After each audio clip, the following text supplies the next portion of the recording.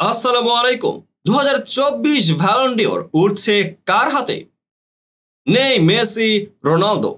জোর দাবি রয়েছে ভিনিসিয়াস রোদ্রি ও লাতারো এই তিনজন প্রতিদ্বন্দ্বীর মধ্যে। যে কেউ একজনের হাতেই উঠছে এবারের ভ্যালন্ডিওর পুরস্কার। তবে সকল জল্পনা কল্পনার অবসান ঘটিয়ে সাফ জানিয়ে দিলেন ইয়ামাল। ভ্যালন্ডিওর জেতার কোনো সম্ভাবনাই দেখছি না। তবে আপনাকে জানতে হবে কেন তার এমন মন্তব্য। এর পেছনে কি যুক্তি দিলেন ইয়ামাল? জানতেই দেখতে থাকুন সম্পূর্ণ ভিডিওটি। এবারের ভ্যালন ডিওরের জন্য ইতিমধ্যেই তিরিশ জনের সংক্ষিপ্ত তালিকা ঘোষণা করা হয়েছে, যেখানে Rodri Vinicius Junior, Jude Bellingham, Erling হল্যান্ডদেরই এগিয়ে রাখছেন বেশিরভাগ মানুষ। তবে কেউ কেউ তরুণ লামিনে ইয়ামাল বা নিকো উইলিয়ামসদেরও এই পুরস্কারের দৌড়ে রাখছেন। অবশ্যই ইয়ামাল এবার ভ্যালন্ডিয়রের জয়ে নিজের কোনো সম্ভাবনা দেখছেন না।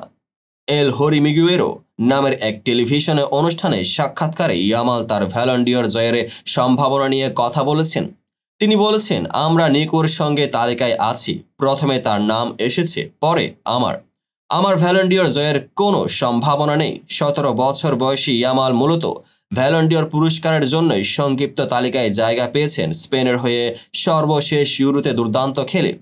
স্পেনের দু হাজার চব্বিশ ইউরো জয়ে টুর্নামেন্টের সেরা তরুণ খেলোয়াড়ের পুরস্কার জিতেছেন তিনি।